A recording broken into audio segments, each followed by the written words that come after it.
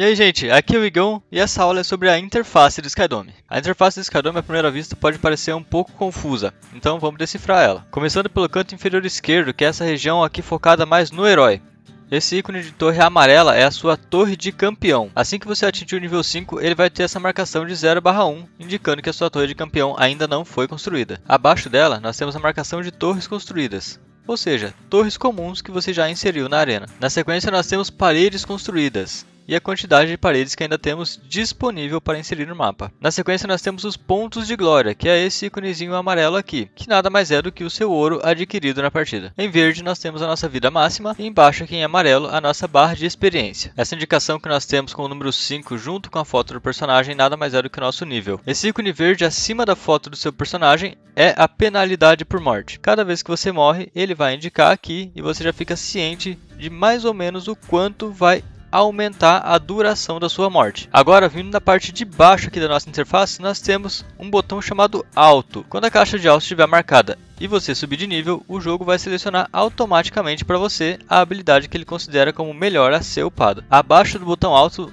Nessa primeira caixa nós temos a passiva do nosso campeão. Ao lado direito dela nós temos a descrição do ataque básico do nosso campeão. E na sequência nós temos quatro caixinhas que indicam as habilidades do nosso campeão. Acima dela nós temos pequenas marcações em laranja que indicam o quão upadas estão as nossas habilidades do herói. Lembrando que as habilidades podem ser maximizadas do level 1 ao 5. E ao lado direito das nossas habilidades do campeão, nós temos este ícone de microfone, que indica o canal de voz do Skydome. Após conectar-se ao chat de voz, um novo ícone na interface irá aparecer no canto superior esquerdo, indicando que você está conectado. Agora, na parte superior da nossa interface, nós temos uma indicação com a vida do artefato, que é este primeiro botão em azul e vermelho, indicando a vida do nosso artefato e do artefato adversário. Abaixo da vida do artefato, nós temos a indicação dos pontos de prestígio e o quanto falta para atingirmos o próximo nível dele. Na parte central, nós temos uma indicação de qual onda de minions estamos enfrentando no momento. Abaixo, nós temos uma indicação de quantas tropas nossas estão vivas na arena inimiga e quantas tropas deles estão vivas em nossa arena. Ao centro, nós temos a indicação do status de combate, que são divididos em